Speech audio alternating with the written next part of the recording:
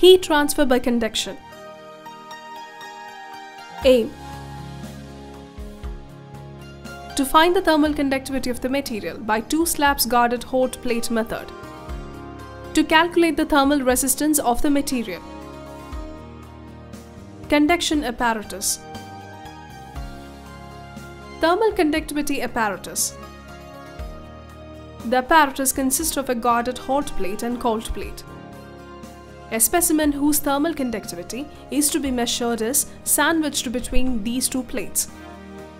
Both the hot plate and guarded plates are heated by electrical heaters. Water is circulated through the cold plate. Thermocouples are attached to find the temperatures of the hot and cold plates. Theory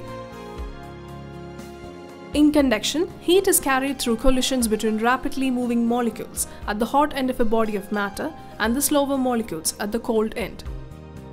As heat passes through the metal rod, the air surrounding the rod is immediately heated by conduction.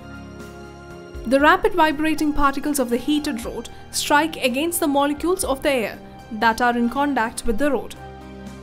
The energy so imparted to the air molecules causes them to move about at higher rate and communicate their energy to the other nearby molecules. Thus, some of the heat supplied to the metal rod is conducted and carried away by the surrounding air.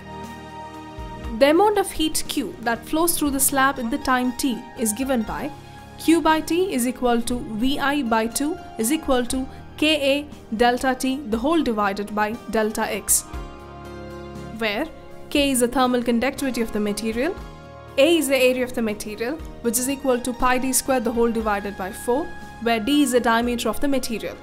Delta X is the thickness of the material, V is the voltage, I is the current, and delta T is the temperature difference of hot plate and cold plate.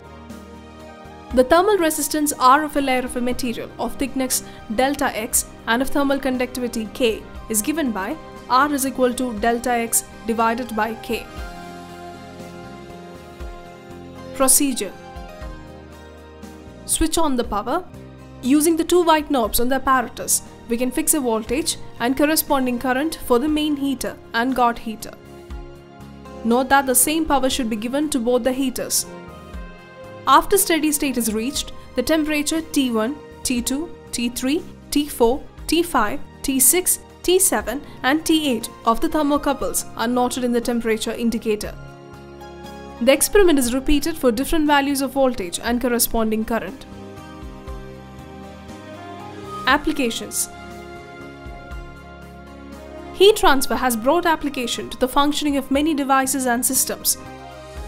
The principles of heat transfer has been used in the wide variety of circumstances like heat exchangers, building construction works, thermal energy storage devices, thermopile, an infrared thermometer, laser cooling, magnetic cooling and so on.